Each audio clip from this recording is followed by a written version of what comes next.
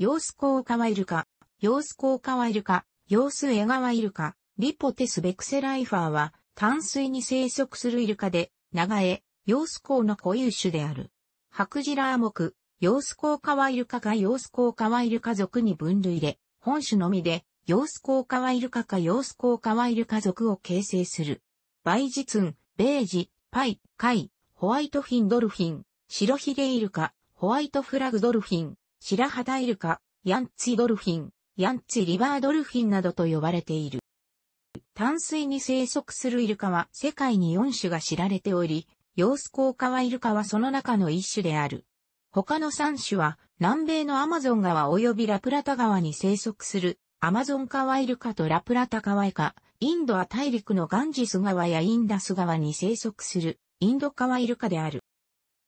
紀元前3世紀頃に書かれた中国の辞典である自我にヨースコウカワイルカに関する記述があり、当時の生息数は約5000頭と推定されている。中国の伝統的な物語において、ヨースコウカワイルカは、愛していない男との結婚を拒否して家族に溺死させられた姫の生まれ変わりとして描かれている。また平和と繁栄の象徴と考えられ、長江女神、すなわち、長江の女神の愛称でも呼ばれている。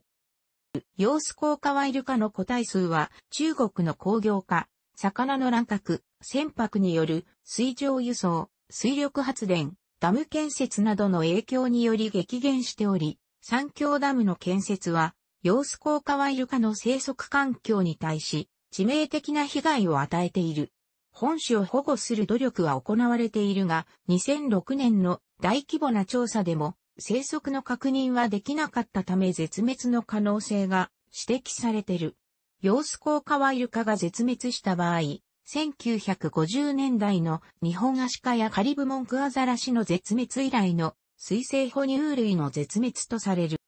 ヨースコウカワイルカは1918年によって新種として報告された。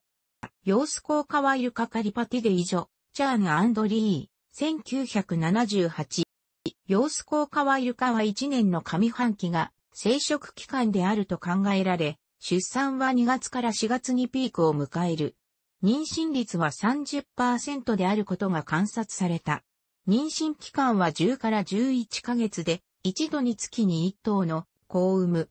出産間隔は2年である。生まれた子イルカの体長は約80から90センチメートルで、育児期間は8から20ヶ月である。オスは4年、メスは6年で生成熟する。生体のオスの体長は約2.3メートル、メスは約2.5メートル、最も大きな個体は約2.7メートルであった。体重は135から230キログラム、野生下での寿命は約24年と見られている。遊泳速度は通常時速10から15キロメートルであるが、危険から逃れるときには時速60キロメートルに達する。視覚は弱いため、主にソナーによるエコーロケーションに頼っている。かつては、銀賞から上海近くの河口まで、長江の中流から下流にかけての位置、700km に渡って生息していた。近年、生息域は数百 km にまで減少し、主に付属湖である、童貞湖と陽湖の間にある中流域の長江本流に限られた。世界の人口の約12%が超高流域で生活しており、河川の環境に影響を与えている。三峡ダムの建設や、その他のダムの計画も生息域の減少を招いている。ヨースコウカワイルカの祖先は、約に500万年前には存在し、約に00000前に海を離れて、長江に移り住んだことが化石からわかっている。1950年代の個体数はおよそ6000頭だったと見られており、その後の50年間で急速に減少した。1970年代には数百頭減少しただけだったが、1980年代には400頭まで減少し、本格的な調査をした1997年には13頭にまで減少していた。生息している個体数を見積もることは容易ではないが、2006年11月から12月にかけて行われた大規模な調査では1頭も確認することがきず、現時点での生息数は極めてわずかであると考えられる。クジラ類の中では最も絶滅の危機に瀕している種である。もともと、長江の実の固有種で、個体数が少なかった様子コウカワイルカは、近年の中国の経済発展で、長江沿岸が開発されるに伴い、急速に数を減らしていった。飼育が極めて困難で、繁殖が難しいことも、保護において大きな足かせとなっていた、飼育成功例自体が、極めて少なく飼育下の繁殖成功例に至っては、皆無。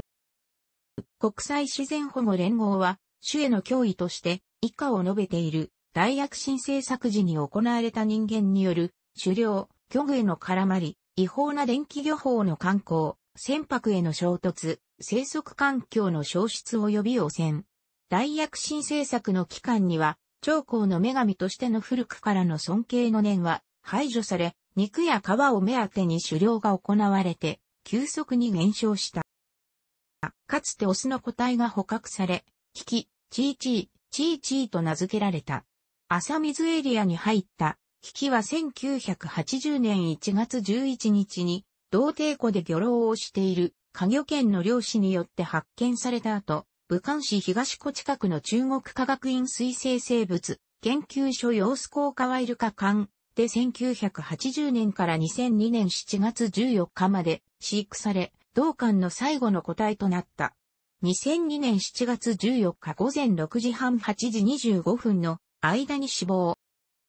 危機の後に捕獲された個体は、石首天ガス様子高カワイルカ保護区、師匠、治安、エイジョヤンツリバードルフィンサンクチュアリで、1996年から1997年までの1年間の飼育の後、死亡した同保護区には1990年から1996年までは飼育されている様子効果はいるかはいなかった。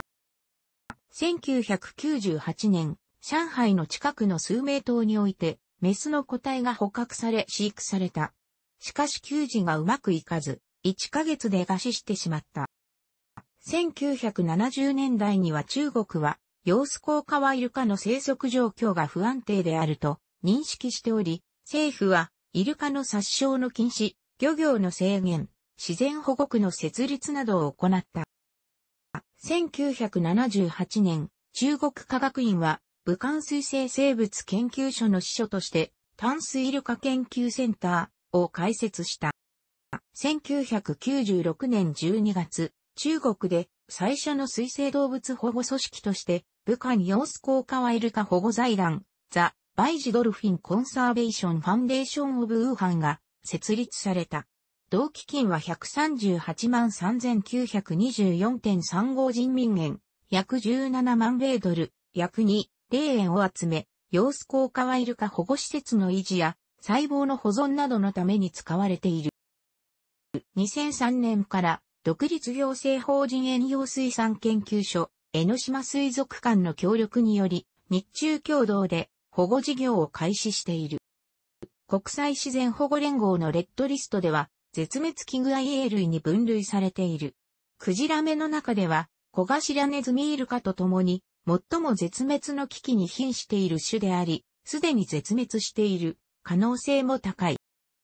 2006年12月13日、baiji.org ファンデーションにより、様子効果イルカは、ほぼ絶滅していると発表された。同年11月から12月にかけて、超高流域の延べ3、500km にわたる大規模な調査が行われたが、様子効果はイルカは一頭も発見することができなかった。人類が引き起こしたクジラ類の絶滅としては最初のものであり、15世紀以降の哺乳類における火全体の絶滅としては4例目で、大型脊椎動物の絶滅としてはここ50年間で唯一の事例であると考えられている。2007年9月12日には IUCN も絶滅した可能性があると発表した。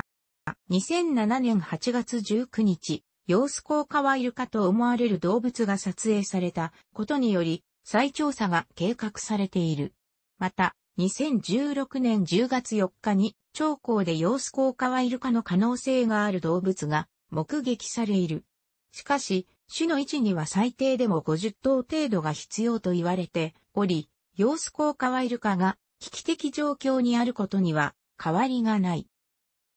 なお、2009年9月には、東、童貞湖保護区で後豚、スナメリが約132頭確認されている。スナメリは主に海水域に生息するが、淡水である長江に生息する個体群も存在し、中国では後豚と呼ばれている。様子効果はイルカに比べ、体型は小さく、糞及び背びれがほとんどない。確認された約132頭のイルカは、スナメリ属の小型イルカであり、様子効果はイルカではない。一部報道では、長江のスナメリ、後豚のことを、様子効果はイルカと表記している場合がある。長江に生息するスナメリ、N エイジオリエンタリスも、様子効果はイルカと同様に絶滅が危惧されている。楽しくご覧になりましたら、購読と良いです。クリックしてください。